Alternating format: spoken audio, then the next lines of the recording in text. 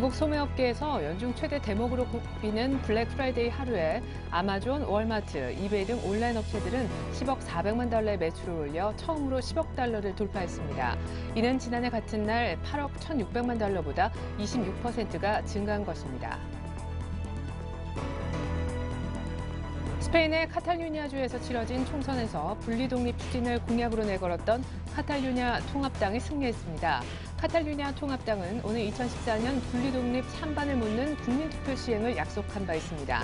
그러나 라포이 스페인 총리는 분리독립을 위한 주민투표는 위헌이라는 강경한 입장을 보이고 있어 정부와의 충돌이 예상되고 있습니다. 유로존이 그리스에 나머지 구제 금융을 지원하는 문제에 대해 거의 합의를 본 것으로 알려졌습니다. 프랑스의 재무장관은 그리스의 구제 금융 문제에 대해 타협이 가능할 것이라며 사실상 타결을 목전에 두고 있다고 얘기했습니다. 유로존 재무장관들은 오늘 밤 이른바 트로이카가 재소집한 회의에서 그리스 구제 금융 가운데 312억 유로의 지급 여부를 결정하게 됩니다. 후보직 사퇴를 선언한 무소속 안철수 전 대선 후보의 테마주로 손꼽히는 종목들이 장 초반 일제 하한가를 기록했습니다. 알랩 주가는 올 초 기록했던 종가 기준 최고가에서 4분의 1 수준으로 추락했으며 써니전자와 미래산업 등 다른 핵심 테마주들도 가격 제한폭까지 밀려났습니다. 대선 전국이 2파전으로 정리되면서 박근혜, 문재인 테마주는 동반 급등세입니다.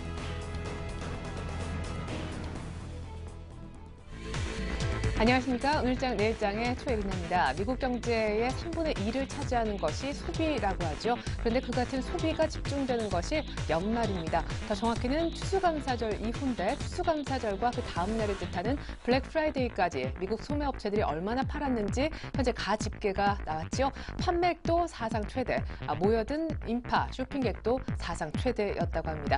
일단 첫 단추는 잘 꿰인 것 같은데요. 하지만 수혜주라 불리는 IT주는 이미 지난주에 너무 많이 달려서인지 삼성전자는 6거래일 만에 2% 정도 차익실현 매물에 시달리면서 코스피도 쉽게 못 가고 있습니다. 외국인 기관의 소폭이지만 쌍끌이 매수도 크게 도움이 안 되는 모습인데요. 지난주 만 계약 정도 담았던 외국인이 선물을 다시 파는 것도 파생 쪽으로 부담을 주고 있습니다. 대선 테마주들도 요동치는 날인데 이제 코스피 쪽부터 흐름 보여드립니다. 네, 코스피는 오늘 장 초반 1918선 정도에서 출발했습니다. 1920선 약간 try를 하는 듯 했지만 이내 하락 반전했었고 현재는 다시금 빨간불이 들어오고 있지만 0.3포인트, 4포인트가량의 플러스라 언제 곧 다시 반전될 수도 있다 보여집니다. 삼성전자 현재 낙폭은 2%가 넘어가고 있지만 주가는 140만 원을 지키고 있고요. 외국인들은 선물에서 1000계약 이상 팔고 있습니다. 코스닥 쪽으로 옮겨가 보죠. 네, 역시 500선 위에서 살짝 괜찮은 출발 보였지만 역시 동반의 하락 반전하고 있고요. 다시금 플러스로 못 돌리는 코스닥도 특징입니다. 오늘 6거래일 만에 기관만이 유일하게 팔고 있습니다. 이번엔 원달러 환율의 흐름 한번 볼까요? 네, 오늘 1084원 60전 정도, 이런 50전가량 아래쪽입니다. 미국의 지표도 좋았고, 독일 쪽의 지표도 함께 좋게 나왔죠. 오늘 원달러 환율은 소폭 하락한 1085원 아래쪽에서 움직여주고 있습니다. 네, 오늘 코스닥 쪽에서 힘이 없는 것은 대선 테마주들이 급락한 영향도 살짝 녹아져 있다라고 보여지는데요. 오늘장 내일장 일부에서 준비한 소식을 이어서 보여드리겠습니다. 애널리스트에게 듣는다 동양증권 조병현 연구원에게 먼저 들어보겠습니다. 이번 주에도 시장은 상승 시도를 계속할까요? 6일 만에 삼성전자가 속도 조절을 보여주고 있습니다. 전망 들어볼게요. 대형주와 중소형주 가운데 현재 대응이 더 유리한 sek터는 어느 쪽일까요? 이슈로 보는 종목 오늘은 신한 PWM 압구정센터에 계시는 박, 곽상준 부장님과 함께 보겠습니다. 3조 원대로 침체되어 있는 거래 대금은 언제쯤 회복될 수 있을지, 엔화약세 흐름은 언제 지속되는지 계속해서 지속될 수밖에 없다면 수출주에는 어느 정도의 타격이 있을까요? 이번 주 예감 시간 텐스탁의 이광우 팀장님 만나보겠습니다. 오늘 밤 유로존 재무장관 회의가 개최되는데 이곳에서 그리스 구제금융 결정이 나올 수 있을까요? 이번 주 주택과 GDP 등 미국의 지표가 증시에 긍정적인 단비를 내려줄 수 있는지 현재 디지텍 시스템으로 8%가량 수익을 보고 계십니다. 더 갈 수 있을지 목표가까지 체크합니다. 일주일 동안 수익 볼 수 있는 종목 알아보는 7일간의 수익 다이어리 동양증권 부평지점의 박현상 대리는 현재 이수 페타시스가 좋아 보인다라고 하시는데요. 4분기 실적의 개선이 기대되고 있는 종목입니다. 네, 먼저 여유로 나가보겠습니다. 동양증권의 조병현 연구원부터 연결해보죠. 안녕하세요. 예, 안녕하십니까. 네, 지난주 금요일에 1,900을 회복시켜 놓고 이번 주 이제 첫 거래를 맞고 있는데 지금 뭐 큰 방향성은 보여주지 못하는 것 같습니다. 이번 주 전체적으로 봤을 때 시장은 상승 시도를 계속할 수 있다고 보시는지요? 예, 그 지난주 같은 경우에 아무래도 그 재정 절벽에 대한 우려가 다 희석이 되면서 지금 반등 구간을 만들어 줬습니다. 어, 이번 주 같은 경우도 지금 기본적으로는 그 대불확실성 경감이라는 명제가 계속해서 유효하기 때문에 일단 추가 반등 가능성에 무게를 둘 수 있다라고 보고 있습니다. 어, 그리스 구제, 그리스 구제하고 관련된 그 논의가 그 국내 시간으로 오늘 오후부터 시작이 돼서 이 결론이 도출될 것으로 지금 예상이 되고 있고요. 그리고 재정 절벽과 관련된 논의도 일단은 그 부정적인 시나리오 쪽의 가능성이 좀 낮게 평가되고 있기 때문에 어 그렇게 부담을 줄 만한 상황은 아니다라고 평가를 하고 있습니다. 어 이것처럼 지금 말씀드린 것처럼 그 리스크 요인들이 경감이 되고 있는 상태고요. 어 거기다가 또 한편에서는 그 미국 경제 지표들 같은 경우에는 계속해서 지속적으로 개선되는 추이를 보여주고 있습니다. 어 이것들이 분명히 금, 증시 상승에 긍정적인 재료를 제공해 줄 수 있다라고 저희 기대를 하고 있고요. 어, 좀 구체적으로 보면 내일 뭐 발표되는 미국의 케이스 슐러 주택 가격 지수라든지 아니면 수요일하고 목요일엔 또 그 신규 주택 매매나 미결 주택 판매 건수 이런 것들이 발표가 되는데 모두 지난달에 비해서 개선될 것으로 지금 전망이 되고 있습니다.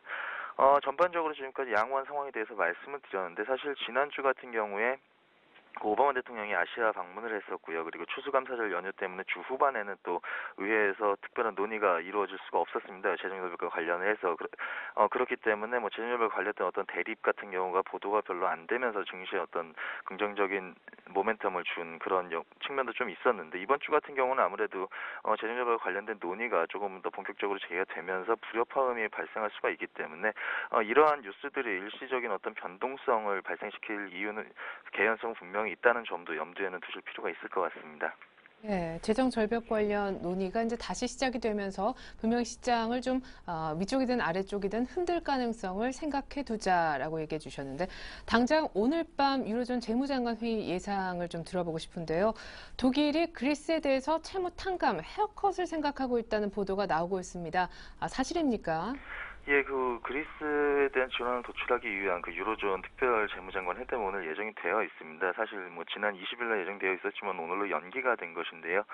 일단 언론 보도 등을 참고를 하자면은 그 융커 의장이라든지 아니면 프랑스 뭐 재무장관 뭐 이런 관련 인사들이 연이어 지금 합의에 근접했다는 발언을 하고 있습니다. 그렇기 때문에 뭐 긍정적인 결론 도출에 대한 기대감이 높아지고 있는 건 사실인데 문제는 지금 그 그리스 국채에 대한 상각이라는 부분들이 어, 대놓고 상각을 한다는 자체에 있어서는 독일 측에는 뭐 여전히 반대 입장을 가지고 있는 걸로 알고는 있습니다. 다만 그 언론 통해서 지금 보도되고 있는 내용을 따르자면은 어, 뭐 헤어컷 과 유사한 어떤 성과를 가지고 있는 뭐 바이백 옵션이라든지 여러 가지 방안들이 지금 논의가 되고 있고 이런 쪽에 있어서는 그리 독일도 어느 정도 완화된 태도를 좀 보여주고 있다 이런 측면들이 있기 때문에 어, 지금 기대감이 조금 더 높아지고 그리스와 관련된 우려가 경감될 수 있다는 쪽으로 지금 기대감이 모아지고 있는 상황인 것 같습니다.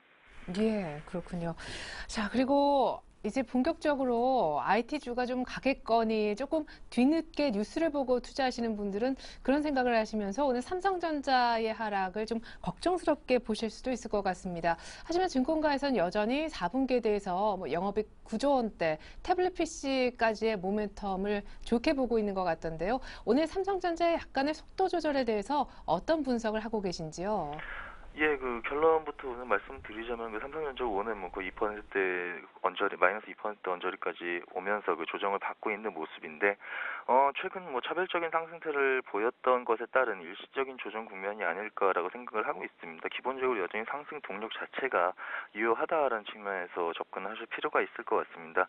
가장 중요한 부분이 아무래도 4분기 실적일 것 같은데 이 부분에 대해서는 기대감이 점차 높아지고 있는 상황인 것 같습니다. 4분기 실적에 대한 컨센서스라는 것이 매출 의 수익이 뭐 전년 대비 20% 가까이 플러스가 될 것으로 예상이 되고 있고 영업이익 같은 경우도 지금 50%대의 성장률을 기록할 것으로 지금 예상이 되고 있기 때문에 어, 삼성전자 실적과 관련해서는 여전히 모멘텀이 남아 있다라고 보고 있고 거기다 최근 들어서 그 한동안 골칫거리였었던 그 애플과의 소송도 점차 그 삼성전자의 좀 우호적인 쪽으로 어, news flow가 좀 바뀌어가고 있는 모습인 것 같습니다. 거기다 뭐 수급 측면에서 보더라도 외국인이나 기관 모두 지금 매수세를 어느 정도 형성하고 있는 상황이기 때문에 뭐 추가적인 상승 가능성 가능성이라는 부분은 여전히 가지고 있다라고 보고 있습니다. 네, 그러면은 삼성전자는 오늘 내지는 140만 원 정도 부근에서 어, 신규 내지는 추가 매수해도 괜찮겠습니까? 예, 뭐 내년까지의 업황을 전, 전제로 해서 봤을 때는 계속해서 뭐 추가적인 관점, 어, 관심을 가질 필요가 있는 종목이다라고 생각을 하고 있습니다. 예, 그렇군요. 오늘 삼성전자뿐만이 아니라 그간 뭐 신저가까지 내려갔었던 포스코라든가 현대중공업 등의 반등이 동시에 보여지고 있습니다. 뭐 LG화학도 2% 정도 상승세를 띠고 있는데요. 현 국면에서 다시금 이 부분을 좀 짚어볼 필요가 있겠다 생각이 됩니다. 대형주냐 중소형주냐 어느 쪽이 더 유리할까요? 예, 그 지, 일반적으로 지수의 방향성이 옆으로 좀 플랫하게 흘러가는 경우에 그 뭐, 흔히 말하는 뭐 보합권이나 관망세라든지 이런 장세가 펼쳐지는 구간에서는 아무래도 중소형주 쪽이 보다 빠른 대응이 유리하기 때문에 중소형주에 대한 관심이 높아지는 것이 사실입니다. 근데 현재 상황을 한번 살펴보게 되면은 일단 지금까지 지수를 하락시키는 요인으로 작용을 했던 대외 불확실하 대외 불확실성이라는 부분들이 뭐 다다 해결된 것은 아니지만은 그 부정적인 시나리오 쪽에 대한 어떤 개연성들이 좀 가능성들이 많이 희박해지고 있는 그런 상황인 것 같습니다. 어 그런 상황 이라고 한다면은 불확실성 그러니까 리스크 요인보다는 펀더멘털이라는 측면에 조금 더 그런 쪽에 펀더멘털 개설이라는 부분들이 더 눈에 들어오기 시작할 수 있는 국면이라고 생각을 하고 있고요. 어 그런 국면에서 대형주들이 오히려 가격 메리트를 가지고 있다라고 한다면 대형주 그 펀더멘털을 보다 빠, 반영하면서 보다 빨리 움직일 수 있는 그 대형주 쪽에 대한 관심도 지금은 한번쯤 가져볼 수 있는 타이밍이 아닌가라고 판단을 하고 있습니다. 어 그리고 그 이익 전망치라는 부분도 보시게 되면은 그 흐름 자체가 어 올해 연중에 계속 해서 하향 조정되는 모습이 나타났었는데 최근 들어서는 그 대형주들을 중심으로 해가지고 이익 전망치도 상향 조정이 되는 모습들이 나타나고 있습니다. 약간은 좀 소위 중소형주와 대형주가 좀 이원화된 모습들을 보여주고 있는데 대형주들은 반등을 하고 있는 반면에 중소형주들 같은 경우는 여전히 좀 부진한 모습들을 보여주고 있어서 이익 전망치라는 이익 모멘텀이라는 부분도 대형주들의 조금은 더 어, 긍정적으로 양호하게 형성이 되고 있다는 점을 감안해 보게 되면은 지금 같은 경우는 뭐 대형주 쪽에 대한 관심을 확대할 만한 시점이 아닌가 이렇게 보고 있습니다. 네, 원래는 시장의 방향성을 확실히 보여주지 못할 때 중소형주가 유리하지만 현재 실적이라든가 혹은 불확실성이 점차 좀 완화되는 측면에서 대형주를 볼 때다 이렇게 얘기를 해주셨습니다. 대형주를 다시 보자라고 하셨지만은 IT 쪽 부품은 괜찮은가요? 오늘 또 대선 테마주들도 롤러코스터를 타고 있는데 포함해서 마감 전략 부탁드릴게요. 예, 조금 전에 말씀드렸던 것처럼 일단 그 대외 악재들의 부담이 가벼워 졌다는 점을 판단을 해, 생각을 해보게 되면은 긍정적인 요인들이 증시에서 부각될 가능성이 조금 더 높아진 상황이 진행되고 있다라고 보고 있습니다. 어, 앞서서 말씀드린 것처럼 최근 그 상승세를 보였던 삼성전자 조정 때문에 지금 IT 쪽, 우린 오늘 같은 경우는 뭐 코스피 전기전자 업종에 따라서 부진한 모습을 보이고 있지만은 어, 코스닥 시장 같은 경우 뭐 IT 부품이나 하드웨어줄 같은 경우는 여전히 강세를 보이고 있습니다. 그래서 일단 업종 측면에 있어서는 모바일과 관련된 IT 쪽에 대한 어, 기조는 여전히 남아 있다, 상승 기조는 남아 있다라고 보고 있고요. 어, 이런 쪽에 대해서는 계속해서 꾸준한 관심을 가질 필요가 있는 상황이다라고 저희는 판단을 하고 있습니다. 어, 조금 더 장, 장기적인 건 단기적으로 봤을 때는 뭐 앞서 처음에 시황을 말씀드릴 때도 어, 언급을 했습니다만은 단기적으로는 그 재정 절벽에 관련된 논의가 제기가 되면서 어느 정도 일시적인 변동성이 형 성될 가능성이 있는 주간이라고 보고 있습니다. 그렇기 때문에 어, 뭐 중소형주를 이용한 trading 전략으로 접근하시는 것도 분명히 가능한 영역이고요.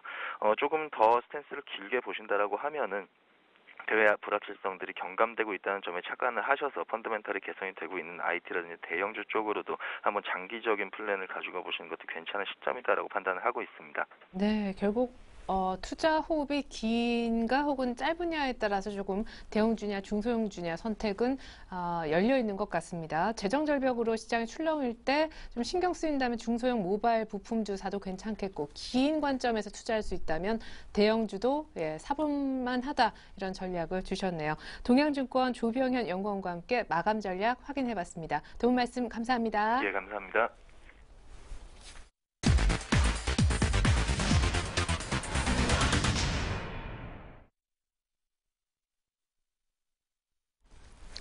네, 이번엔 이슈로 보는 종목 시간입니다. 오늘은 특별히 신한 PWM 압구정 센터로 가서 곽상준 부장님과 얘기 나눠보겠습니다. 부장님 처음 뵙겠습니다. 안녕하세요. 네, 안녕하십니까. 반갑습니다. 네, 지금 조금 파랗게 나오세요. 알고 계신가요? 아, 네. 네, 뭐 팔에도 예 아주 멋지십니다. 오늘 어떤 이슈가 있다고 생각하시는지 우리 부장님께서 보시는 이슈 한 두세 가지 정도 먼저 이슈를 확인해 볼까요? 네, 일단 두 가지 큰 이슈를 뽑아봤는데요. 하나는 침체된 거래 대금이 과연 언제쯤 회복할 수 있을 것이냐 하는 점이고요.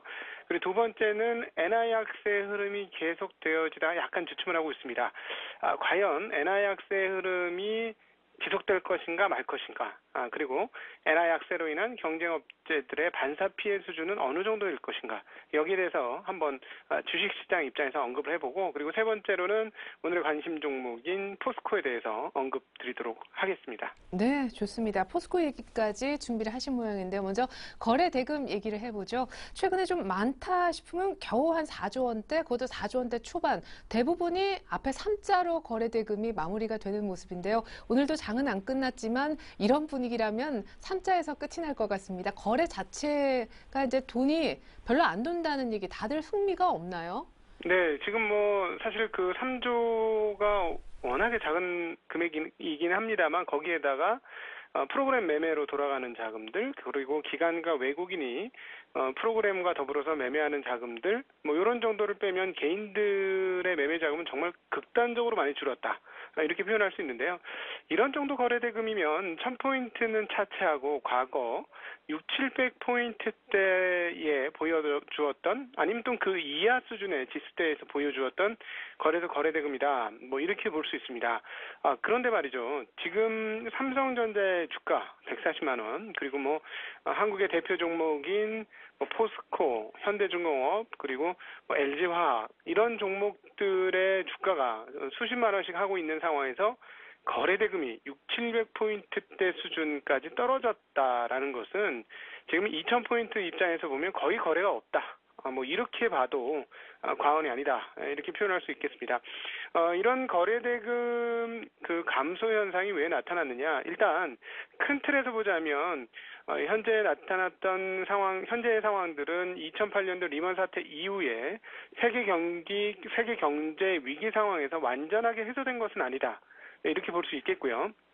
계속해서 위기를 풀기 위해서 유동성을 풀었습니다만 어, 자금들 성격들이 위험을 회피하는 성향들이 강화되어 있고 함부로 위험 속으로 어, 치고 들어가지 못하기 때문에 이런 어, 한 발 떨어져서 어, 위험 자산을 바라보는 그런 눈치 보기 장세가 지속되고 있기 때문이다 이렇게 볼 수 있습니다.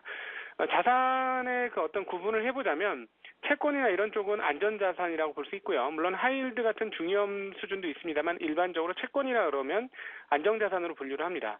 아, 반면에 어, 주식 자산은 위험 자산으로 분류를 하게 되는데요. 어, 위험 자산으로 들어갈 때는 투자 수익이 높을 것이다라는 기대감이 있을 때 어, 위험 자산 쪽으로 뛰어들게 되는데 지금 세계 자산군의 흐름들이 여전히 풀리지 않은 유럽 상황들 그리고 회복은 되고 있지만 안심하기 어려운 미국 상황들 뭐 이런 것들을 감안해 봤을 때 위험 자산으로 섣불리 진입을 못하고 있다라는 것이죠. 그래서 한국에도 최근에 원 달러 강세를 바라보면 외국인들 자금이 한국으로 많이 유입됐다라는 것은 거의 명백한 사실, 사실이다 이렇게 볼 수 있는데요. 어, 그럼에도 불구하고 이 자금들이 주식시장으로 유입되기보다는 채권시장 또는 대기자금으로 그냥 머물러 있다라는 것이죠. 그래서 사실 이번에 1900이 깨지는 흐름들이 나왔을 때 상당히 당황스러웠던 부분들은 뭐냐면 원화 강세가 이루어지는데도 불구하고 주식시장이 약세였다라는 점입니다. 이런 증상이 있었던 적이 거의 없었어요. 최근 10년 동안에 원화가 강세면 주식시장이 강세였습니다. 왜냐하면 외국계 자금들이 들어왔기 때문에 원화 강세가 일어나는 것이고 원화 강세에 대한 추가적 베팅이 주식시장에서 이루어졌기 때문에 대체적으로 외국인 자금 들어오면 들어, 들어오게 되면 주식시장 강세는 일반적인 흐름이었는데 이번엔 그렇지 않았다라는 것이죠. 그래서 이런 부분이 굉장히 어, 이번 장에서 해석하기 어려웠던 부분이다. 아, 뭐 이런 정도로 볼 수 있겠는데요. 일단은 앞서 잠깐 말씀드렸습니다만 눈치 보기를 하는 이유가 위험에 대해서 아직 견딜 만한 심리적인 준비가 안 되어 있기 때문이다. 이렇게 볼 수 있기 때문에 이 위험 문제가 조금 가라앉아야만 이 자금들이 공격적 성향의 주식시장으로 좀 뛰어들 수 있을 것이다. 이렇게 보여집니다. 그래서 어 뭐 이미 뭐 얘기 아, 다잘 알고 계시지만 그리스 문제라든가 미국의 재정 절벽 문제들이 조금 더 해결의 가시화권으로 좀 더 들어와야 되지 않겠느냐. 아, 이렇게 보여집니다. 그렇게 되어야만 이 대기성 자금들이 주식시장에 어, 마음껏 좀 들어올 수 있을 것이다. 그러기 전까지는 현재의 상황들이 지속이 될 것이다. 그리고 또 하나 언급드리고 싶은 것은 이 거래 대금이 이렇게 침체되면 방향성 안 나옵니다. 어, 주식이라는 건 항상 방향성 나오기 전에 대량 거래와 대량 거래 대금을 수반하기 때문에 현재처럼 거래량이 줄어든 상황에서는 절대로 위로든 아래로든 잘 흘러가지 않는다는 것이죠. 오늘도 뭐 장중에 플러스와 마이너스를 오가고 있는데요. 마이너스 나면 우리 투자자분들 마음 불안하시고 이 플러스 나면은 야 이거 이제 되는 거 아니야라고 어, 또 흥분하시게 되는데 지금 장은 절대 그런 장 아닙니다. 흥분과 침체 또는 흥분과 공포는 거래 대금이 나타난 다음에 하셔도 늦지 않으니까 지금 상황에서는 대체적으로 이런 정도의 완만한 흐름들로 지속될 것이다라고 감안하시고 시장 참여하시는 것이 맞는 방법 아니냐 이렇게 판단하고 있습니다. 네. 많이 빠졌으니까 코스피가 뭐 PBR 1배 수준도 안 되니까 싸니까 갈 거다. 이런 생각을 빨리 좀 벗어나셔야 될 것 같습니다. 그리스와 재정 절벽 문제 등이 해결돼야 돈이 시장으로 들어오고 그렇게 해야 시장이 방향성을 보일 수 있다라는 얘기해 주셨는데요. 자, 그러면 이렇게 아직 방향성을 보이지 않을 때는 어떤 쪽으로 투자하면 좋은가요? 네네 이렇게 방향성 없을 때는 시장이 뭐 방향성 없다는 건 옆으로 횡보 국면이 조금 더 지속될 것이다라는 것이고요. 그리고 앞서 말씀드린 대로 이런 횡보 국면은 위험 회피 성향들이 강화됐기 때문이다 이렇게 볼 수 있습니다. 그렇기 때문에 어, 주식 시장에서도 위험이 그다지 크지 않은 종목군들이 있습니다. 어, 바로 어, 배당이 높으면서 꾸준한 그런 기업들 또는 어, 안정적인 실적이 계속적으로 유지되는 유틸리티 업종들 아, 이런 종목들이 대표적이다 이렇게 볼 수 있는데요. 뭐 앞서 잠깐 말씀드렸던 배당과 꾸준한 실적은 뭐 통신주들이 그런 모습을 보여주고 있고 그리고 그 유틸리티 관련주라면 최근에 부각되는 전력난과 더불어서 이 전력 관련 회사들 어, 이런 전기 그리고 그 가스 이런 업체들이 상당히 어, 유망하다 이렇게 볼 수 있습니다. 어, 그래서 이것과 관련된 종목을 한번 언급을 드려 보자면은요. 어, 최근에 주가가 많이 올라온 종목인데요. 바로 어, 가스 회사인 삼천리 입니다. 이 삼천리 자전거하고 자꾸 헷갈리는 분들이 계신데요. 어, 자전거 회사 제조업체 아니고요. 어, 가스를 판매하는 삼천리라는 회사입니다. 서부 지역, 서울 서부 지역과 인천 지역에 어, 가스를 공급하는 회사인데요. 안정적으로 이익이 꾸준히 나는 회사인데 이 회사를 지금 주목하는 이유 그리고 최근에 주가가 상승한 이유는 어, 뭐 이미 뭐 블랙아웃 이란 얘기 나오면서 전력난에 대한 고민들이 굉장히 많습니다. 근데 이 회사 같은 경우는 최근에 발전 플랜트에 상당한 투자를 했고요. 발전소에 투자를 한 것입니다. 그래서 이 부분들이 향후에 약 1년 또는 2년 있으면 본격화되면서 수익 창출로 될 수 있겠고 전력난 일 때 이런 발전소를 가지고 있다는 건 굉장히 부각되는 요소다 이렇게 볼 수 있겠고요. 또 하나 이 회사가 지금 추진하고 있는 사업이 하나 있습니다. 바로 어, 건물의 냉난방 시스템을 가스로 만드는 것인데요. 지금까지는 최근에는 어, 건물의 냉난방 시스템이 주로 전력으로 이루어졌습니다. 그렇기 때문에 그것이 전력 소모량을 더 크게 만드는 요인이었는데 이 부분들이 전력 가격이 올라가고 전력난이 심하게 될 경우에는 오히려 가스 시스템에 대한 어, 사람들이 환기하고 투- 어, 그 시각을 좀 더 가지게 될 것이다 이렇게 판단되는 바 어, 삼천리라는 회사 한번 어, 언급드리도록 하겠습니다. 네, 감사합니다. 자, 두 번째 이슈인 엔화 약세 얘기를 좀 해보죠. 계속해서 추세적으로에다가 지금 어, 약세를 띠고 있는데 이것 때문에 니케이가 9,500을, 도요타 주가가 잘 나가는 반면 우리 현대차 주가는 어, 이것이 또한 어, 주가의 발목을 잡는 하나의 요소로서 주가가 잘 못 가는 듯한 그런 인상을 줍니다. 하지만 뉴스들을 보면요, 아직은 괜찮다, 뭐 경쟁력도 있다, 대비책도 있다라고 하는데 우리 부장님의 생각은 어떠신지요? 네네, 그 엔화 약세가 아주 지속 아, 아주 급하게 이루어진 게 가장 큰 문제입니다. 이 환율 문제는 항상 속도가 문제입니다. 이 방향성도 방향성이지만 속도가 너무 빠르면 문제가 되는 건데요. 이번에 9월 달에 그 N1 환율이 1,450원 하던 게 최근에 1,310원대까지 아주 빠른 속도로 어, 떨어졌습니다. 그러니까 원화가 강세가 되고 엔화가 약세가 되는 흐름들이 빠르게 반영됐다 이렇게 볼 수 있는데요. 어, 일단 일본 상황들 좀 보도록 하겠습니다. 일본 상황들이 정치적으로 매우 혼동 혼돈스럽죠. 지금 내각제이기 때문에 그 어, 총리가 조기 총선을 선언을 했고 이 부분에서 향후에 일본의 정치 지형이 바뀔 것이다라는 그런 전망들이 나오고 또한 그에 따라서 아베 등의 그 보수적 정치가들이 어, 양적 완화를 아주 강력하게 이야기하고 있습니다. 바로 이 부분 때문에 엔화 약세가 강하게 시연이 된 것인데요. 그런데 이렇게 보시면 되겠습니다. 엔화 약세가 더 되려면 이미 일본은 돈을 많이 풀었고 그리고 아베 총리가 이야기한 중앙은행을 동원한 자금 어, 그, 어, 확, 때 그러니까 약정 완화는 쉽지 않은 어, 그런 방법이다 이렇게 볼 수 있습니다. 그래서 엔화 약세가 계속되려면 일본의 경상 적자가 계속되거나 이런 식의 흐름들이 나타나야 엔화 약세가 이루어질 것인데요. 그것은 어, 좀처럼 쉽지 않다 아, 이렇게 볼 수가 있겠습니다. 그래서 이런 정도 수준 즉 최근에 1,320원을 깨고 1,310원대까지 내려왔는데요. 1,300 수준은 1,300원 수준까지는 빠르게 올 수 있었습니다만 이 이후의 속도에 대해서는 엔화보다는 원화의 흐름이 더 중요하다 이렇게 볼 수 있습니다. 그리고 원화의 흐름에서는 어, 중요한 포인트는 속도가 중요하다 이렇게 보여주고요.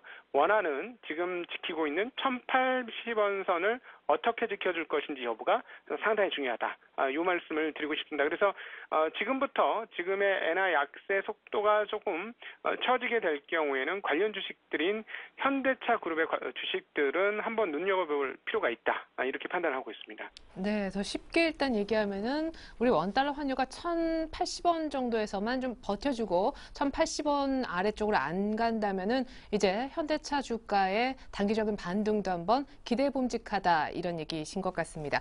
아까 마지막으로 포스코를 좀 주목하고 있다고 얘기해 주셨는데 신저가를 찍었던 포스코 이제는 오늘 조금 올라오네요. 네네 그렇습니다. 오늘 그 전체 시장 상황이 이런 흐름과 좀 연계가 되는데요. 그 상승에 대한 피로감 그리고 반대로 하락에 대한 피로감 이렇게 표현하면 될까요? 어, 지금 삼성전자 같은 경우는 실적 지금 좋을 것이고 향후에도 좋을 것이다라는 전망에 의해서 신고가를 내고 좋은 모습 보여주었습니다만 오늘 어, 상승이 계속적으로 일주일 동안 거의 10% 정도 수준 이루어졌기 때문에 그에 따라 피로감을 느끼면서 단기 조정에 들어갔다 이렇게 볼 수 있습니다. 반면에 이 틈을 노리면서 그동안 주가 하락이 계속해서 이루어졌던 종목군들의 반등이 오늘 잘 일어나고 있는데요. 어, 바로 업종 대표 주군들이 그러합니다. 포스코라든가 현대중공업, LG화학이 모두 반등을 하고 있는데요.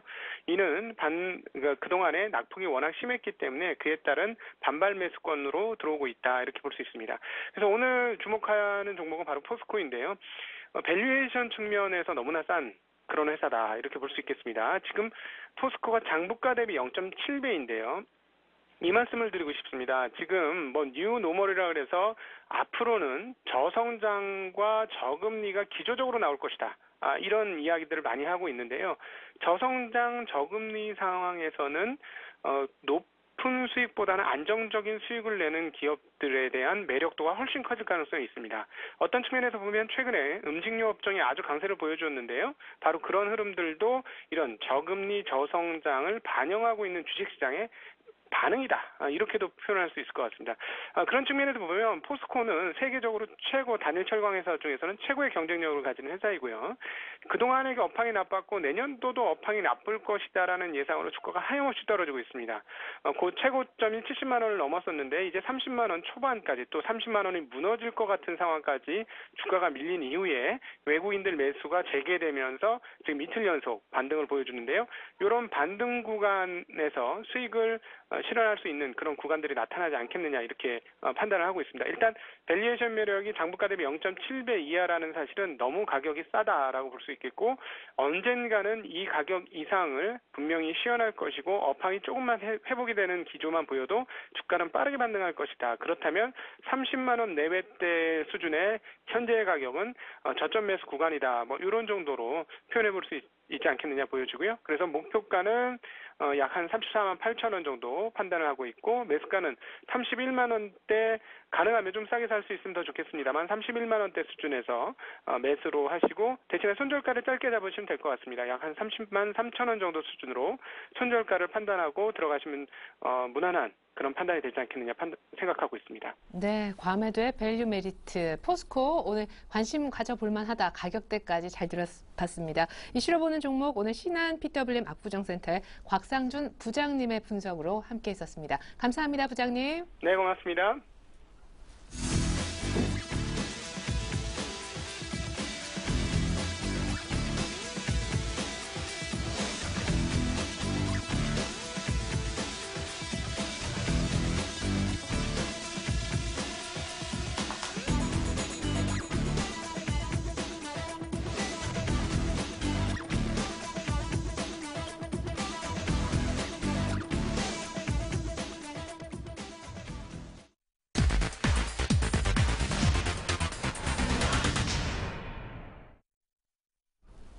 네, 지난주 10%가량 올랐던 삼성전자가 이번 주 시작하자마자 2% 넘게 빠지면서 시장의 빨간불을 자꾸 꺼뜨리고 있는 그런 날인데요. 오늘 마감 얼마 안 남았습니다. 또 첫 주이고 해서 이번 주 전체적인 전망, 오늘장 마감 아, 모두 다 챙겨보는 이번 주 예감 시간 가져보겠습니다. 오늘은 텐스탁에서 이광호 팀장님이 나와주셨네요. 안녕하세요. 네, 안녕하세요. 네, 지난주에 미국 소매업체 성과가 판가름 날 것이다 했는데 네. 아직 완전한 판가름은 아니지만 어느 정도 윤곽이 나왔는데 사람들이 지갑을 많이 열었더군요. 네. 예, 저- 지난주에 그 소비 시즌이 개막이 되면서 조금 어, 증가율적인 측면에서 조금 걱정스럽지 않나 예상. 때문에, 예, 예. 그, 그랬지만 조금 어, 예상보다는 어, 상당히 좋게 나온 것 같습니다. 네, 당장 이제 발등에 불이 떨어졌죠. 오늘 밤 네. 또 그리스 문제도 있고 이번 주 일정부터 간단하게 소개 부탁드릴게요. 네, 이번 주 그래서 좀 체크하셔야 될 그 일정들을 간단히 좀 말씀을 드리자면 일단 지난 20일에 좀 머리를 맞댔던 유- 유로존 재무장관들이 오늘 밤에 다시 한번 그리스에 대한 해법을 놓고 다시 한번 모일 것으로 보입니다. 어, 여기서 어떠한 방향 어, 정책적인 결론을 낼지 한번 확인해 보셔야 될 것 같고 그리고 현재 지금 미국의 소비 시즌을 지나고 있는데 지금 지난주 아까 말씀드렸다시피 이거 괜찮았던 실, 그런 이제 매출들이 이번 주에도 계속 이어질지 한번 확인을 해 보셔야 될 것 같습니다. 그리고 27일과 29일 그 3일 그 3일에 걸쳐서 지금 미국의 어, FOMC 변hen케 의장과 그 각 지역의 연준 총재들이 어, 여- 좀 연설이 지금 그 예정이 돼 있는데 여기서 이제 12월에 있을 FOMC 회의의 그 정책 방향성을 확인할 수 있는 만큼 이 부분도 확인해 보셔야 될 것 같고 그리고 미국의 개인 소득과 개인 소비 지수 발표 역시도 중, 중요한 변수라고 하- 할 수가 있겠습니다. 그리고 한국에서도 이제 12월 10월 달에 산업, 산업, 산업 활동 동향과 그리고 11월 수출입 동향 역시 어, 우리나라 경기 흐름을 예, 그 확인할 수 있는 길인 것만 그, 지수, 지수 인 만큼 좀 확인해 보셔야 될 것 같습니다. 예. 자, 먼저 그리스 문제 얘기를 해보죠. 네. 뭐 당장 오늘 밤에 될 것 같다라는 그런 분위기는 굉장히 많이 형성돼 있는데 네, 그렇죠. 이렇게 계속 당하지 않았습니까? 이번 회의에서 될 거야, 또 이번 회의에서 될 거야. 네, 오늘. 밤은 될까요, 안 될까요? 그리스가 돈을 받을까요? 어, 된다는 의견, 안 된다는 의견 참 많은데 지금 제가 봤을 때는 지금 현재 그 그리스에 대한 구제금융 지급이 지금 지연되고 있는 것은 그리스 자체의 문제라기보다는 채권단 내부의 그 어떤 이견이 존재하기 때문이라고 보고 있습니다. 어, 지난달 20일 회의에서 구- 부채 감축 목표액을 낮추는 데는 합의를 했지만은 이렇다 할 어떠한 이제 그 정책의 그 정책에 대한 어떤 결론을 내지 못했는데 지금 유로존과 IMF 간의 감축 목표액 차이에 대한 자금 해결, 방법이 오늘 회의의 주제가 되지 않을까 보고 있습니다. 일단 IMF는 지금 기존의 완고한 입장에서 다소 좀 한 발 물러서면서 좀 유, 유연한 자세를 취하고 있고 또 독일을 비롯한 유로존, ECB 등도 지금 조건부 원금 탕환 방, 방안을 제시하고 있는 상황인 만큼 어, 지금 현재는 조금 어, 긍정적인 쪽으로 방향이 흘러가고 있다고 보고 있습니다. 일단 그리스 문제를 놓고 지금 이견이 분명 존재하지만은 서서히 지금, 서로의 의견을 하나로 일치해 나가고 있는 과정인 것은 분명해 보이는 만큼 이 같은 문제가 좀 원만, 원만하게 해결이 된다면 분명 우리 국내 증시에 또 분명 그 활력을 불어넣어 줄 것으로 기대를 하기 하- 해볼 수 있겠지만은 어, 이 부분이 꼭 오늘 밤에 합의가 될지는 여전히 미지수라고 저는 할 수가 있겠습니다. 일단 주요 인사들이 지금 낙관적인 발언을 계속 쏟아내고 있지만은 일각에서는 12월 3일에 있을 또 재무장관 회의에서 최종 타결될 수 있다는 관측이 나오는 만큼 이 부분 그 those 면밀히 확인하셔서 미리 예상하고 재 베팅하시기보다는 좀 확인하셔서 좀 대응하시는 게 좋지 않을까 이렇게 보고 있습니다. 네. 자, 일단 뭐 프랑스 재무장관은 그리스 합의안에 도출이 임박했다라고 했지만 일단 결과적으로 정말 예, 그리스가 구제금융 지급을 받는지 여부 확인하고 투자하셔도 늦지 않을 것 같다라는 얘기 들어봤습니다. 자, 두 번째는요. 미국 쪽으로 눈을 돌려보겠습니다. 일단은 첫 단추를 잘 꿰서 네. 사람들이 지갑을 많이 연 것으로 블랙 프라이데이 집계까지 봤는데 네. 오늘은 사람들이 이제 온라인 으로 클릭을 한다는 바로 그쵸. 그 그죠? 사이버 사이버 먼데이, 예. 먼데이인데 또 사이버 먼데이 매출은 어느 정도일지도 궁금하고 이번 주에 지표도 뭐 많이 나온다면서요? 네, 주택 관련 그렇습니다. 지표도 그렇고. 네, 지금 일단 지난주에 블랙 프라- 프라이데이에서 지금 매출이 상당히 이제 우호적으로 나왔는데 저희 사이버 먼데이도 그 기조를 좀 이어갈 수 있을지 이번 주에 확인을 해보시는 게 좋을 것 같습니다.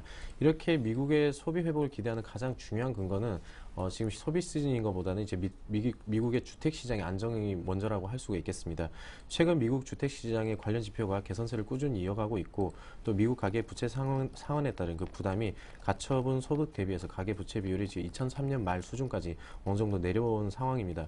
어, 이것은 이제 글로벌 위기 이후에 5년간의 가계 부채 조정이 어느 정도 마무리 국면에 진입한 것이 아닌가 이렇게 보고 있는데, 어, 그래서 그렇기 때문에 이제 이렇, 이렇게 가계 부채가 좀 그 잠잠해지면서 그 소비 심리가 다시 한번 개선이 될지, 돼줄지를 한번 확인해 보셔야겠습니다.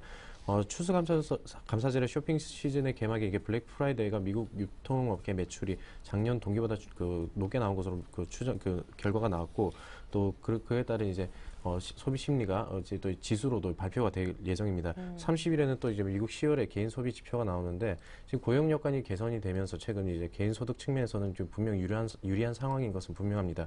어, 그 소, 소비에 있어서도 소득 영향뿐만 아니라 미국의 소비 동향을 파악할 수 있는 미- 그 개인 실질 소비 지출이 3개월 연속 증가세를 기록 중인 것도 확인을 해보셔 그 기록 중인 데다가 11월 그 잠정치를 좀 내놓은 미시간대 그 소비자 심리 지수는 2007년 9월 이후로 최고치를 지금 기록을 해, 해놨 그 지금 예상했기 때문에 어, 시비, 소비 심리 지수가 큰 폭으로 상승 상승함에 따라 그 기대감이 국내 증시에도 분명히 긍정적인 역할을 해줄 수 있지 않을까 어, 판단을 해보겠습니다.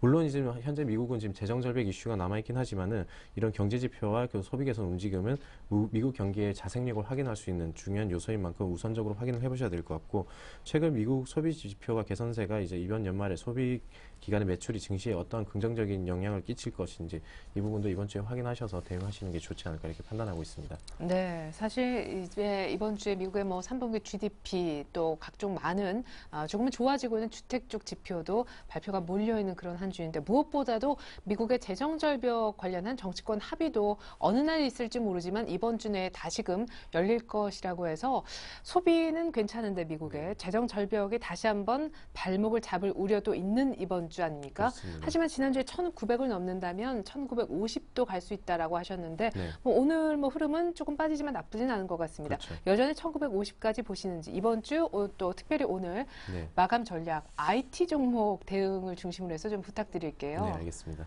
어, 지금 단기적으로 지금 국내 증시에 부담을 작용하고 있는 것은 아무래도 미국의 재정 절벽이라고 할 수가 있겠습니다. 일단 재정 절, 절벽에 대한 정치적 부담이 지금 현재 커지고 있는 상황이기 때문에 점점 공화당의 입장이 변하는 모습을 보이고 있습니다. 이것은 분명 지금 현재 그 문제를 해결해 나가는 과정임에는 분명해 보입니다. 항상 그 시기의 문제라고 제가 말씀을 드렸는데 그래서 이런 그 변수까지 가- 다 감안했을 때 이번 이번 주 국내 증시 흐름을 좀 예측을 해보자면 당분간은 이제 미- 미국 소비 시즌의 기대로 인한 하단 지지력을 어느 정도 확보해 놓은 상 확보해 놓은 상태다라고 지금 판단을 하기 때문에 1900과 1950 사이에 또 이제 박스권 흐름을 어느 정도 예상을 해볼 수가 있겠습니다. 그 박스권 흐름 가운데 가장 아무래도 주목할 만한 업종은 그 쇼핑 시즌의 수- 효과 수혜가 예상되는 이제 그 IT 업종이라고 할 수가 있겠는데 어 최근 이제 또 피치와 무디스가 소니 소니 회사에 대한 이제 투자 부적격 신용 등급 하락 소식이 전해지면서 그에 따른 반사 이익도 이제 기대를 해볼 수 있기 때문에 이번 주도 어, IT 업종은 견조한 흐름을 예, 예상을 해볼 수가 있겠습니다. 어, 그 가운데도 이제 터치 패널과 반도체 그리고 모바일 관련주들의 주가 흐름은 여전히 긍정적으로 나올 것으로 판단하고 있고 그리고 이제 오늘 저녁에 있을 유로존 재무를 장관 회의에서 어떤 결론이 도출이 되고 또 미국 쇼핑 시즌, 시즌 에 대한 긍정적인 결과들이 좀 더 발표가 된다면은 그 쇼핑 시즌의 효과에 따른 수혜 업종을 좀 더 넓게 생각을 해서 11월 달에 낙폭이 컸던 이제 산업재와 소재주 업종들도 이제 단기적인 일시적인 반등을 좀 가져오지 않을까 이렇게 생각을 예, 예상을 해보겠습니다. 그리고 4분기에 그 늘 말씀드리는 드리는 말씀이지만 4분기에 그 실적 모멘텀이 기대되는 유통주와 그리고 연말에 배당 수익률과 그 실적 개선이 기대되는 통신주에 대한 관심은 여전히 가지셔도 경기 그 대외적인 변수에 크게 영향을 받지 않을 만큼 계속적인 관심을 가지시는 게 좋을 것 같고 마지막으로 이제 자동차 업종들이 또 운수 장비 업종들이 어, 낙폭 과대에 따른 단기적으로 이제 외인과 기관의 매수세가 좀 유입되고 있지만은 지금 현재 저가 쇼핑이라고 보셔야 될 것 같습니다. 아직 어, 단, 그래서 단기적인 기술적 반등은 어느 정도 나타내 주겠지만은 추세 전환하기에는 분명 어떤 상승 모멘텀이 필요한 것으로 판단되기 때문에 조금 장기적인 시각으로 바라보셔서 운수 장비를 바라보시는 것도 나쁘지 않다고 생각하고 있습니다. 네, 좋습니다. 결국에 IT와 낙폭과대, 경기 민감주 혹은 통신과 유통 이렇게 안정적인 포트 한 네 가지 정도의 힌트를 들어봤는데 오늘 신규 추천 종목이 있다고 들었습니다. 빠르게 설명 들어볼까요? 네, 이번 주 제가 추천드릴 종목 NHN 한번 준비를 해봤는데 일단 이제 뭐 검색 시 광고 시장에서의 그, 기, 그 계속적인 이제 검색률을 유지를 하면서 안정적인 실적을 이어나갈 것으로 보고 있습니다. 아까 말씀드렸었지만은 이렇게 지금 그 저성장 시대에는 그 계속적인 그 큰 폭의 그 성장을 그 매출을 기록하기보다는 안정적인 성장 그 매출을 기록하는 업종 그 종목들이 좋은 수익을 나타낼 것으로 기대를 하기 때문에 NHN 한번 준비를 해봤고요. 어, 그 최근에 라인 때문에 네, 기대감이 예. 라인에 대한 그 실적 기여 확대는 더욱더 커질 것으로 보고 있습니다. 미국과 그 일본, 아니 미, 일본과 대만, 태국에서도 이제 다, 다운로드 상위권에 항상 랭크가 되기 때문에 네. 어, 라인 때문에라도 이제 계속적인 안정적인 매출 기대해 볼 수 있기 때문에 이번 이번 주 NH는 추천드리도록 하겠고 기술적으로 한번 잠깐 보셔도 지금 현재 그 동사의 주가 지금 121선은 안, 안정적으로 올라서고 이렇게 121선의 꾸준한 지지를 받는 모습을 보이, 보여주고 있습니다. 이런 흐름은 당분간 좀 이제 횡보하는 흐름이 나타날 수 있겠지만 여기에 지지를 받고 또 이제 대형주에 대한 관심이 다시 한번 쏟아지면서 다시 한번 이제 반등을 보여주지 않을까. 그래서 이 종목 어, 금일 종가에 매수를 하신다면 어, 목표가를 제가 그 28만 5천 원까지 한번 잡아보겠고요. 손절가는 지금 현재 그, 그 단기 입형들이 머- 머물러 있는 지금 어, 25만 원대 그 손절가 잡으셔서 대응하신다면 어, 분명히 좋은 수익 가능하리라 판단해서 NHN 추천드리도록 하겠습니다. 네, 이미 바닥에서 꽤 올라왔지만 여기에서부터 다시 추가 상승을 예상하고 계십니다. 오늘 NHN이 예, 오늘 추천 종목이었네요. 자, 그렇다면 기존 이광호 팀장님의 포트폴리오에는 어떤 종목이 있었을까요? 한 종목 한 종목 AS 듣기 이전에 수익률부터 확인해 보죠. 자, 이광훈 팀장님의 포트폴리오입니다. 디지텍 시스템, 동아원, 인프라웨어, GS 리테일 종목은 네 가지. 가장 비중이 적었던 것은 디지텍 시스템이었는데요. 자, 금요일날 급등하면서 디지텍 시스템이 지난주보다 많이 좋아졌네요. 인프라웨어가 다시금 오늘 급락해서 손절가가 조금 위태롭습니다. 그래도 보유 의견 주셨고 동아원도 예, 조금 흔들리지만 60일선 잘 지키면서 꿈틀꿈틀 올라가고 있죠. 야, 디, 어, 디지텍 시스템부터 인프라웨어까지는 지난주에 손절가를 내렸던 종목. 인프라웨어 는 사실 지난주에 추가 매수했는데 오늘 급락해서 조금은 걱정스럽습니다. GS 리테일도 뭐 괜찮고요. 자, 인프라웨어가 가장 급해 보이네요. 네, 그렇습니다. 인프라웨어 왜 그런지 모르겠는데 자, 자꾸 그 증권가에 어떤 루머들이 계속 돌면서 인프라에 대한 주가가 음. 강제, 상당히 조정을 받는 모습을 나타내고 있습니다. 어, 최근 그 폴라리스 오피스가 이제 갤럭시 S4에 그 납품되지 않을 것이다 전망이 나왔고 또 오늘 같은 경우는 이제 한컴에서 그 부분을 한컴에서 납품을 할, 할 것이다라는 전망이 나그 그런 루머가 나왔는데 지금 분명히 루머인 것으로 확인됐습니다. 그 어, 이유는 모르겠지만은 이러한 루머가 다시 한번 그 좀 사그라들면은 어, 다시 한번 이제 반등을 나타낼 것으로 판단을 하기 때문에 어, 차트를 보셔도 지금 현재 121선을 크게 무너뜨리지 않고 있는 모습 확인하셔서 어, 조금 더 보유하신다면 분명 수익 가능하리라 판단이 되고 디지텍 시스템 지금 현재 개- 견조한 흐름이 이어지고 있습니다. 단기 바닥권이 자꾸 어, 조금씩 높여지고 있는데 어, 지금 현재 구간에서 매도하시기보다는 지금 단기 그 상단까지 12,500원까지는 한번 노려볼 수 있는 종목이지만은 어, 12,500원까지 한번 보시고 그 부분 돌파된다면은 목표가까지도 가능하리라 생각해서 좀 더 보유하시는 것으로 하겠습니다. 그리고 동아원과 지금 그 GS 리테일 같은 경우는 이제 어떠한 이제 그, 그 어떤 소식에 의한 그 주가 상승보다는 지금 현재 그 구간에서 어 지금 당, 장기 입형의 저- 꾸준한 지지를 받고 있다는 모습을 지금 확인을 하셔서 좀 더 보유하시면 분명 히 이 부분도 수익 가능하리라 판단을 해보겠습니다. 네, 무엇보다 갤럭시 S3에 들어가는 모바일 오피스를 이 인프라베어가 아니라 한글과 컴퓨터가 공급한다. 또 하나의 루머 때문에 다시금 약 한 일주일 만에 또 한 번의 급락이 있는 인프라베어지만 아, 괜찮다라고 하시면서 보유 의견을 들어보았습니다. 이렇게 해서 이제 저희가 오늘 신규 추천주도 있고요. 그대로 홀딩하는 종목도 있게 되는데 가격 변동은 없습니다. 다시금 완성된 포트 폴리오 보여드리면서 저는 이만 테스트기 이광호 팀장님과 인사를 나누겠습니다. 말씀 감사합니다. 네, 고맙습니다.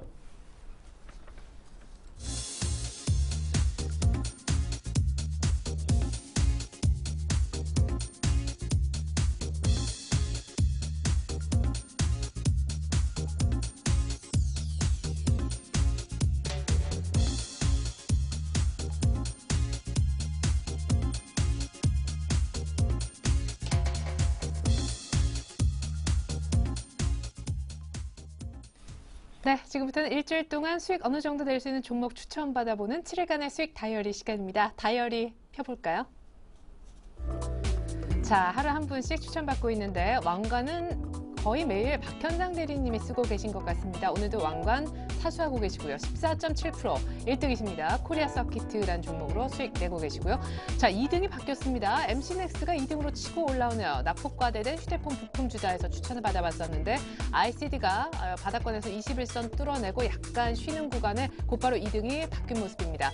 박지웅 과장님의 톱텍 괜찮습니다. 오늘 목표가도 근접했었고 투신권만 산다면 2만 원 갈 수 있다 하셨는데 투신권은 꾸준히 사는 모습입니다. 아바 텍이 예, 그래도 손실권을 많이 좁히는 모습도 인상적입니다. 거의 매수가까지 올라왔는데 오늘 1등은 다시금 말씀드리지만 박현상 대리의 코리아 서킷입니다. 자, 1등 하신 분 연결을 이제 뭐 거의 지겹네요. 연결해 보겠습니다. 박현상 대리님 안녕하세요. 예, 안녕하세요. 네, 목표가 없이 11% 급등하는 날 종가 언저리에서 분할해 사보자 했는데 와, 목표가 없는 종목 정말 잘 가네요. 오늘도 장주에 꽤 많이 올랐었던 것 같아요. AS 먼저 들어볼까요? 예, 뭐 저번 주에 말씀을 드린 것처럼 뭐 휴대폰 부품주들이 기관에서는 어떤 실적이 나오고 있는 종목들이기 때문에 한동안 분할 매수 혹은 매매를 통해서 계속 지속해 보자라는 전제하에서 코리아 서킷을 추천드렸었고요. 아시다시피 종목이 HDDI 기판을 만드는 즉 스마트폰에서 어떤 사양이 높아지면 높아질수록 꼭 들어갈 수밖에 없는 종목들이라 보시면 될 것 같습니다. 그런 의미에 봤을 때 일단은 계속 홀딩하시는 게 맞을 것 같고요. 아직까지는 지금 기관 수급이 지금 확인이 안 되고 있어요. 보면 증권사마다 HT상에서 조금씩 틀릴 수가 있긴 한데 오늘 종가상으로 봤을 때 봐서 오늘 장 끝나고 나더라도 여기 지금 그 화면을 보시면은 기관 쪽에 수급이 들어와 있는 걸 확인을 하실 수가 있으시거든요. 그래서 기관 쪽 확인을 하시고 아직까지 좀 매매가 지속되고 있는 한 지금 계속 지속된다고 그래서 홀딩할 홀딩할 것을 말씀을 드릴 수 있 겠고요. 그렇기 때문에 지금 최근 뭐 코리아 서키트만의 이런 종목에 대한 흐름이 아니고 다른 종목들도 거의 다 비슷하다 보시면 될 것 같습니다.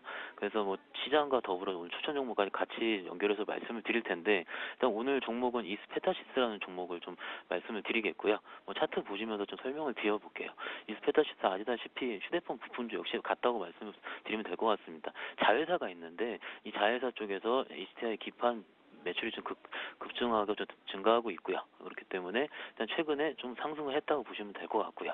그렇게 했는데 지금 오늘 전 고점 부근이 박스권을 뚫었다고 보시면 될 것 같아요. 박스권을 뚫은 것만큼 어떻게 보면은 일단 최근에도 제가 최근에도 뭐 신고가 종목을 매매 계속 하자라고 말씀드린 논리처럼 일단 오늘 모양은 아침까지는 굉장히 좋았었습니다. 근데 오후 들어서면서 이제 시장이 좀 코스닥 쪽으로 좀 매기가 좀 빠지면서 좀 팔, 팔렸다 이거죠. 그래서 좀 기관 수급이라는 좀 이렇게 또 떠- 떨어지면서 코스닥 쪽에서도 지금 투매 현상이 좀 나오고 있습니다. 다른 종목들도 빠지는 것은 거의 다 마찬가지일 거라고 생각이 들고 있고요. 아직까지는 뭐 코스닥 일봉 추세라든지 보면 기관 매도가 본격적으로 나온 모습은 아니기 때문에 일단은 코스닥 쪽으로도 매기를 집중하셔도 충분히 가능할 것이라는 판단. 어떻게 보면 종가상으로 봤을 때 금일 종, 종가로서 스페타시스를 매수하시고요. 뭐 4분기 실적은 꽤 좋다는 얘기 어, 별- 보고서 계속 나오고 있어서 일단은 역시 모멘텀적인 요소도 같이 있다고 보시면 될 것 같습니다. 목표가로는 전 고점 부근이 5,700원 정도까지 볼 수가 있겠고요. 5,700원까지 보신다면 지금 수준은 충분, 충분히 메리트 있는 가격이기 때문에 일단 홀딩을 하셔서 종가상으로 분할 매수를 통해서 하시면 될 것 같습니다. 예, 근데 오늘 5.6%나 말씀하신 대로 분위기가 좋았다가 5,440원까지 갔다가 현재는 2%가량 빠지면서 5,050원인데 손절가는 얼마로 잡을까요? 예, 손절가를 말씀을 드리자면은 일단은 오늘 종가를 매수를 했을 때 일단은 봤을 때 지금 보시면은 오늘 잠깐 찍긴 찍었어서 5천 원 정도 부분까지를 말씀을 드릴 수가 있는데 만약에 종가상으로 5천 원이 깨졌다는 전제가 있으면은 일단 분할 매수로서 들어가시면 나을 것 같아요. 왜냐면은 5일선이라든지 5일선이 깨지게 되면은 4천 한 800원, 900원 정도까지 다시 내려올 수가 있거든요. 그렇기 때문에 일단은 저희가 매수를 할 때는 5일선이 깨졌을 때 같을 경우는 손절 손절 라인을 정하셔가지고 5천 원 정도까지 보시고 일단 지금 장이 아직 끝, 한 5분 정도, 한 15분 정도 남은 장이 아직 끝나지 않았죠. 장 끝나는 그 기준으로 종가 매수를 하시면 될 것 같습니다. 예, 감사합니다. 앞서서 수익이 한 15%가량 난 코리아 서킷은 기관이 팔지 않는 다음에야 계속해서 어, 신고가 낼 수 있으니까 들고 가자는 AS였고 오늘 새롭게 추천받은 이수페타시스는 만약에 오늘 종가 부근에 사지만 5천 원이 깨진다면 오히려 추가 매수 기회로 삼자라는 AS 들어봤습니다. 이수페타시스 종가에 분할 매수해보자. 오늘 공략까지 가격 감사합니다. 동양증권 부평지점 박현상 대리와 함께 했었습니다. 왕관 쓰신 거 다시 한번 축하드릴게요. 예, 감사합니다.